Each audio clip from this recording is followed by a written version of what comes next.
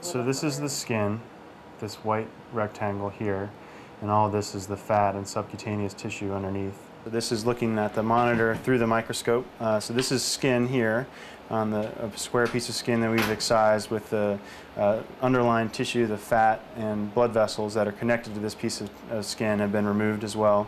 And then there's a artery and vein that are connected to this piece of tissue. So that's coming down here uh, that you can sort of see it. It's uh, and these cannulas are connected into the artery and into the vein. So we have a a single piece of tissue that's completely removed from the animal and we have one artery going in and then one vein coming out. In the artery and then it will perfuse the tissue flap and then drain back out through the vein, through the cannula connected to the vein back to the machine.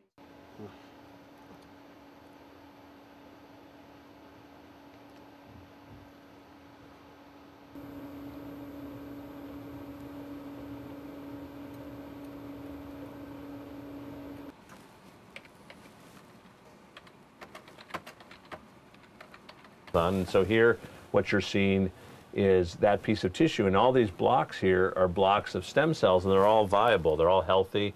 This sort of thing for pancreas, uh, or at least pancreatic islet. Uh, We've developed a way to um, overcome one of the big problems in tissue engineering, which is uh, how do you get blood vessels into big blocks of tissue so that you can potentially make things like hearts or livers or or very solid organs. And, and we've done it in, in a somewhat uh, unique way uh, because we're surgeons. We're used to moving around big um, blocks of uh, tissue that contain microvascular beds. And, and in this um, paper that we published, we've actually taken those uh, microvascular beds out and then used them as the scaffold to seed stem cells and then put them back into an animal.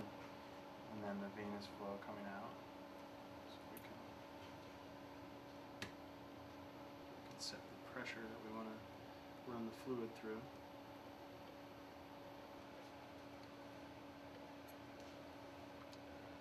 We'll change it so when we put it back into the animal it'll either have uh, new uh, therapeutics. What I do is I move around big blocks of tissue to reconstruct cancer patients. Uh, and in the, in the process of doing that, I realized that I was actually moving uh, not just the tissue, but the blood vessels. The way we keep those pieces of tissue alive is by sewing together a single artery and a single vein.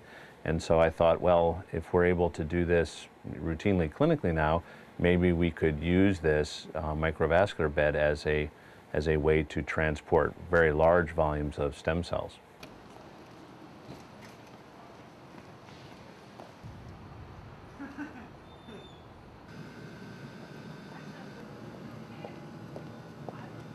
This study, by taking pre-existing mature vasculature, actually um, circumvents the need to build your own vasculature within a tissue-engineered uh, equivalent.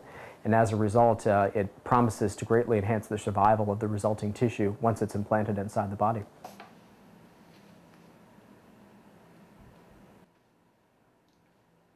It needs to be done for human tissue uh, before one can begin to translate this towards clinical application. So that's one significant challenge.